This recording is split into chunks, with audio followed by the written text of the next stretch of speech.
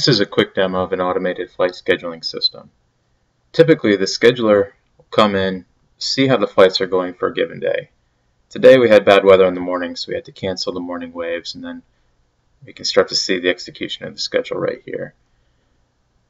Come in, take a look at what the students are up for. Say we start with Midshipman Anderson here, make sure he hasn't got any SNVs in this system for the day, figure out who his partner and his on-wing instructor are, as well as the plane type he flies. And then we'd come in and create a student sortie for him for the next day. So for the 28th, he should be with his on-wing aim because he's flying C2, which is an on-wing event. And we'll have them brief at 7.30, take the plane at 8.30, and say return it by 10. This is for Anderson on C2. It's a 1.0 hour event, and with brief and debrief included, he should be two hours of instruction time total, and that is a Cessna. So we'll create the event. So we've got one event created. Fantastic. This event, however, depends on his C1 actually executing. So if that C1 gets canceled or he fails for some reason, we have to go back to the drawing board and edit the event so that we can get the correct information in there. Once we've got it done for him, we get to do it another 70 something times for the rest of the students that we've got in the program. The new way to do it,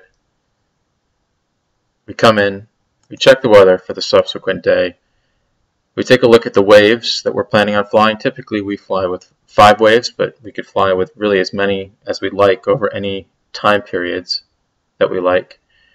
By default, we weight the morning waves earlier and the evening waves less. But if we had bad weather scheduled for the morning, we would change that so that we moved events away from time periods when there's bad weather. We then run the schedule. It's building the model right now. The first thing it does is it checks to see if it can schedule all of the students, and if it can't, it outputs a report describing why it can't schedule the students that it hasn't been able to schedule. It then optimizes the schedule, trying to fit in as many events as possible, particularly those for students who have a higher priority level. And then it brings up our new flight schedule. We've got 68 students scheduled.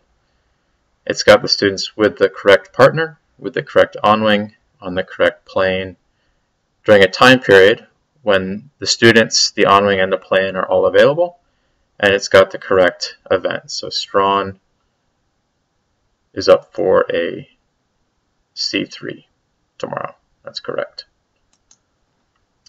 The fantastic thing with this is that if flights get canceled, people fail, it's very easy to just rerun it and get a new optimized schedule rather than having to make hand changes that might result in us getting less events than we would otherwise. Thanks.